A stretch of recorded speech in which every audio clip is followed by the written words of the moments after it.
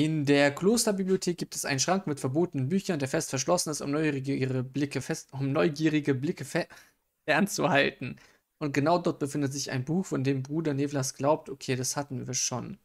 Ich muss nachts in die Bibliothek schleichen und ein Ar Ar arabisches Buch aus dem Schrank mit den verbotenen Büchern entwenden. Necronomicon.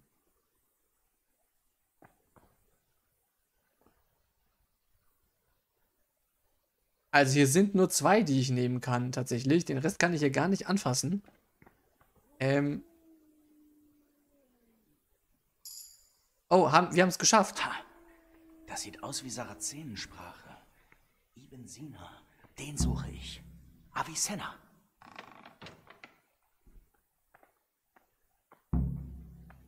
Ich habe mir schon gedacht, der schiebt Stress. Ein magischer Trank? Wegen des magischen Tranks aus dem verbotenen Buch. Was willst du damit anstellen? Weiß ich noch nicht. Eines Tages braue ich ihn und probiere ihn aus. Was für ein Trank, das ist keine gute Idee. Ja, verrätst du mir die Rezeptur? Dann machen wir das auch und probieren ihn auch aus. Würdest du mir die Rezeptur verraten? Natürlich, ohne dich hätte ich sie schließlich nicht. Hör zu. Altweibersalbe, welche von Hexen am Sabbat wird gebraucht, um ihre Seelen zum Teufel zu jagen. Bereite Öl und je eine Handvoll Ringelblumen, Tollkirschen und Einbeeren vor. Koche die Einbeeren für einen Sanduhrdurchlauf. Gib die gemahlenen Ringelblumen hinzu und koche den Kesselinhalt für einen weiteren Durchlauf. Dann gib die gemahlenen Tollkirschen für noch einen Durchlauf hinzu. Das klingt höchst giftig. Ja, glaube ich auch. Ist es bestimmt auch.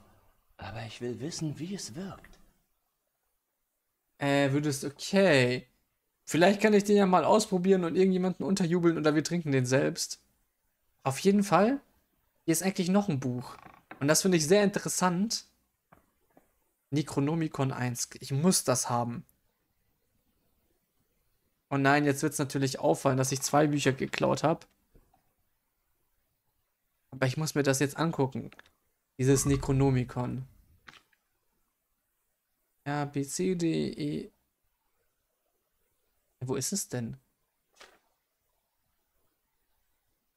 Ach, das sind beides Questgegenstände. Boah, wie sieht das denn aus? Uje, uje, das sieht ja richtig brutal aus. Okay. Okay, das könnten beide sein und beide sehen crazy aus. Okay, ich wundert mich jetzt doch nicht, dass die die Bücher weggesperrt haben. Die sehen schon irgendwie satanistisch aus. Also die sehen nicht, nicht aus wie freundliche Bücher. Okay, aber wie, ich hab's. Und ich muss jetzt einmal quatschen mit Bruder Nevlas. Okay, der ist in der Bibliothek, das passt. Der Bruder Nevlas kriegt das. Ich habe zwei davon.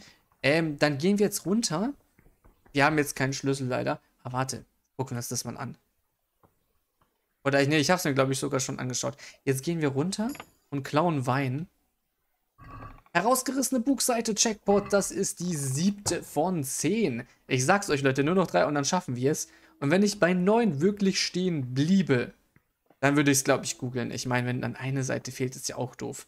Und wenn ich wirklich das ganze Kloster auf den Kopf stelle und das Buch, äh, die Buchseite auf Teufel komm raus nicht finde, dann würde ich es ähm, schon drauf ankommen lassen. So, jetzt treffe ich mich hier eigentlich mit jemandem. Ich glaube hier, oder? Da ist er ja. Hi. Grüß dich. Joachim. Da bin ich. Da bin ich. Du kommst zu spät. Wir würden es nicht rechtzeitig zurückschaffen. Komm morgen wieder, aber gleich nach der Vespa. Was?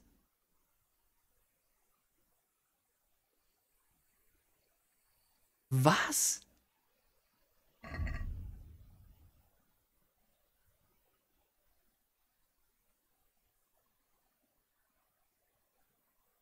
Okay. Berichte Bruder Johann vom Diebstahl des verbotenen Buches Leg dich schlafen. Ähm. Ja, dann glaube ich jetzt morgen wieder, ja, jo Joachim. Aber ich sehe das hier nicht, ich sehe das hier nicht drin. Hol das Fass. Beschaffe Wein. Jo. Aber ich sehe nicht, nee, dass, dass ich mich mit ihm wieder treffen kann. Wo warst du denn schon überall? Ich kann dir sicher helfen. Im Schlafraum sind zwei. Okay, im Schlafraum habe ich jetzt eins gefunden. Das ist gut. Dann finde ich noch eins im Schlafraum, dann sind wir bei acht. Der Punkt ist, äh, ich weiß gar nicht, wo der Abt oder der Oberboy oder wer auch immer, wo der sein Büro hat. Ich meine, da, da kann ich mir ja irgendwie einen Schlüssel suchen und alles. Ich habe jetzt Dietriche und sowas, aber sonst weiß ich gar nicht, wo das ist. Wo ich zu dem sein, zu dem sein Raum hin soll. Ähm, ich weiß gar nicht, ob es jetzt sinnvoll ist, vielleicht ein bisschen zu schlafen. Heinrich braucht auch Schlaf und diese Nacht klauen wir nichts. Und ich habe mich wirklich sehr viel herum, herumgeschlendert. Der Punkt ist, ich werde den Schlafraum nochmal auf den Kopf stellen müssen, aber ich glaube, es ist laut, wenn ich hier äh, Schlösser knack nachts. Warte mal. Heimlich töten, Alter. Ich kann die eigentlich alle hier heimlich umbringen.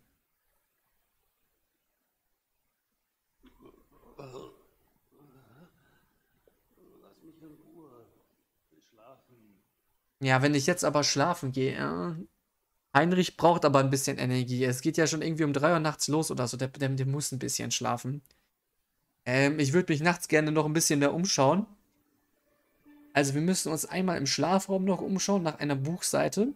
Und ich muss vom Abt oder vom Chef das Büro finden. Ich, ich war da in irgendwelchen Zimmern. Aber ob ich da richtig war, weiß ich nicht. Und ich muss mich mit dem einen treffen, um... Was hast du da an, Bruder? Das ist ein Kloster. Ups, ich habe gar nichts an. Verpeilt. Sorry. Jetzt habe ich ja was an. Kann ich noch mal noch ein bisschen mehr schlafen? Kann ich vielleicht die Messe verschlafen, aber dafür Heinrich mehr Energie. Guck mal, bis elf. Boah, ich, ich frage mich, ob das jetzt Stress gibt. Boah, ich frage mich wirklich, ob das Stress gibt. Warte mal, um wie viel Uhr gibt's Frühstück? Aber ich habe irgendwelche getrockneten Pilze gefunden. Okay, ich glaube, es reicht. Ich, ich habe ein bisschen Para, dass gleich einer herkommt und sagt, was machst du? Du erfüllst nicht die Pflichten des Klosters. Mi, mi, mi. Jetzt kriegst du Stress. Und diesmal kriegen wir wirklich Stress und dann den würde ich gar nicht haben.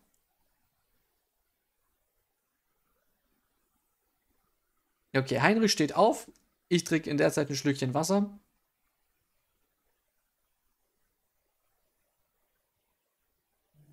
Wir missachten den Tagesplan. Genau. Oh, jetzt sind wir wenigstens ein bisschen weiter ausgeschlafen. Also, wie ist denn der Tagesplan nochmal? Ähm, geh in die Werkstatt von Nevlas. Ich glaube, ich muss mit dem Nevlas reden. Genau, mit dem muss ich quatschen, oder?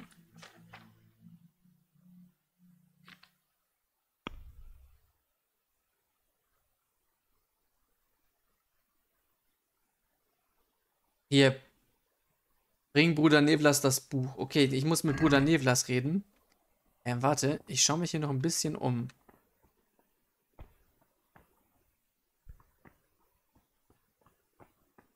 Das sieht mir hier aus wie so eine, wie so, wie so Buchseiten, aber das, wir sind im Kloster. Hier sieht alles buchseitenmäßig aus. Äh, Steinpilz. Ich, ich nehme mal ein bisschen was zu essen. Einfach nur, damit wir Essen haben.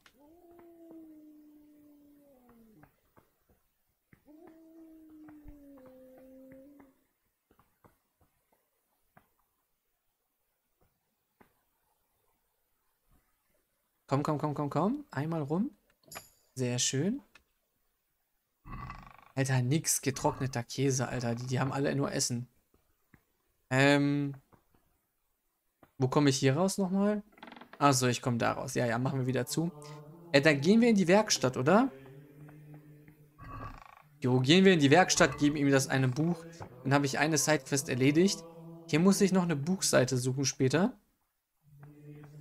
Aber ich glaube, wir gehen erstmal runter und berichten dem, was wir zu berichten haben.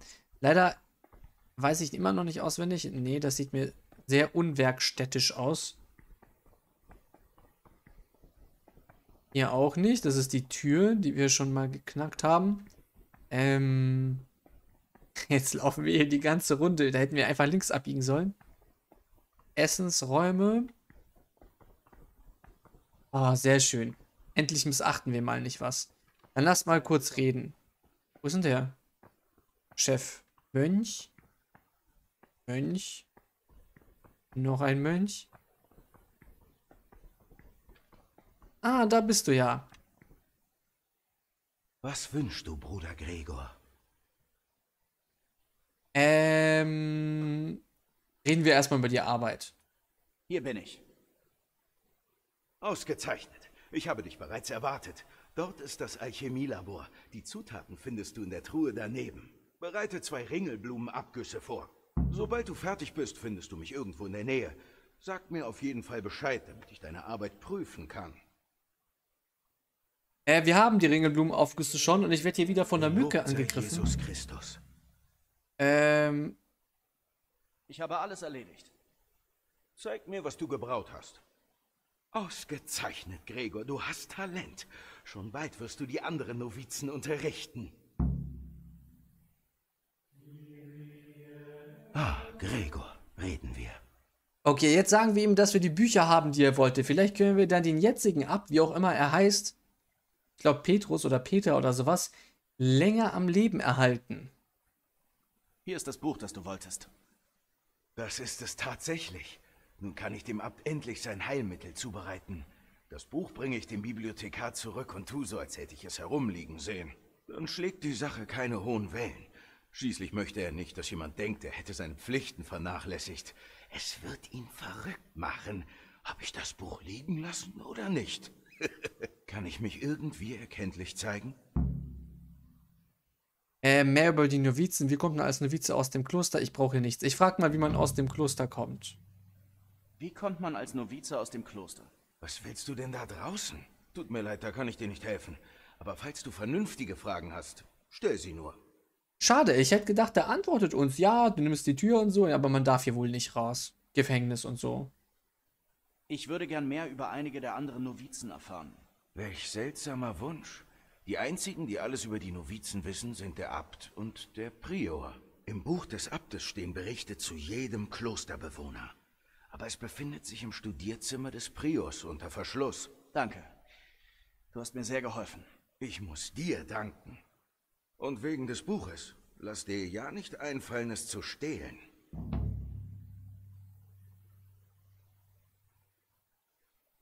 Okay, ich schaue mir das jetzt nochmal an. Schön gespeichert.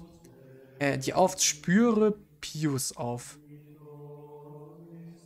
Ich habe herausgefunden, dass der Abt äh, Aufzeichnungen über die Novizen angefertigt und unter Verschluss hält. Vielleicht enthalten sie Hinweise. Ich weiß, wer Pius ist. Er hat mich doch schon vergiftet. Der hat uns schon vergiftet. Ich bin mir safe sicher, dass, dass der, wie auch immer, der, der uns auch eingeführt hat, keine Ahnung, wie der hieß, Konstantin oder sowas.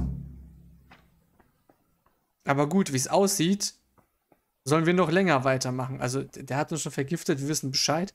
Jetzt soll ich hier ganz, ganz viel Alchemie machen. Will ich aber gar nicht.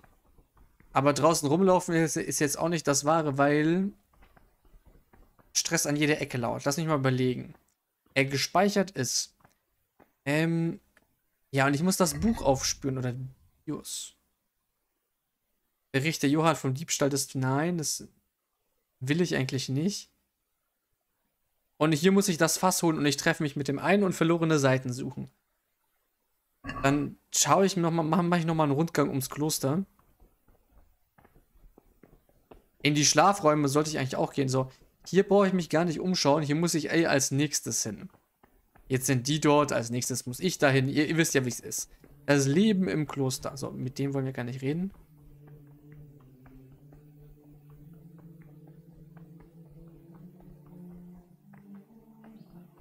Zekator, nein!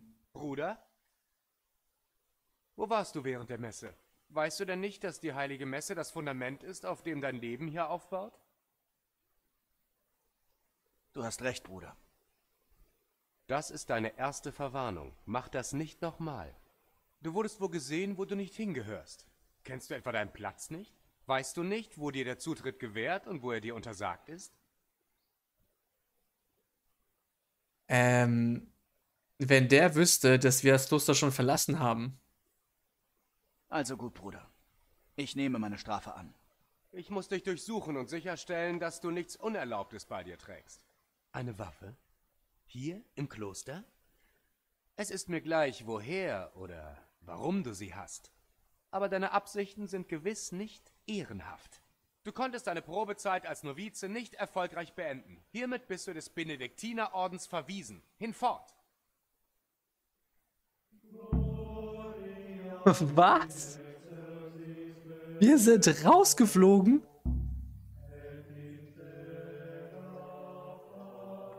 Also ich kann den... Wow. Ich wusste, wer Pius ist. Wie geht's denn jetzt weiter in der Main Story? Ach du Heiliger. Solltest du nicht im Kloster sein, Junge? Boah, was wir alles verkackt haben, was ich alles verkackt habe. Ein Mönch hat hier nichts zu suchen. Was ist mit deinen Gelübden? Okay. Mach mal weiter. Boah, so viele Quests, die fehlgeschlagen sind. Ich kann jetzt trotzdem noch rein und trotzdem noch? Pius-Platten machen. Aber wie läuft jetzt die Main Story weiter? Äh, Antonius ist Pius. Und wie ich das jetzt mache, ist meine Sache. Ja. Der, der Punkt ist, ähm. Der Punkt ist. Naja. Ich werde neu laden müssen, aber ist nicht so schlimm. Hat auf jeden Fall sehr, sehr, sehr viel Spaß gemacht.